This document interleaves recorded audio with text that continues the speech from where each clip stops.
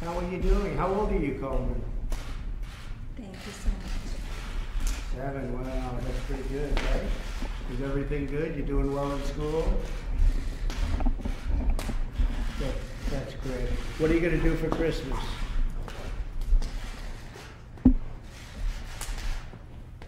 Hello, good evening.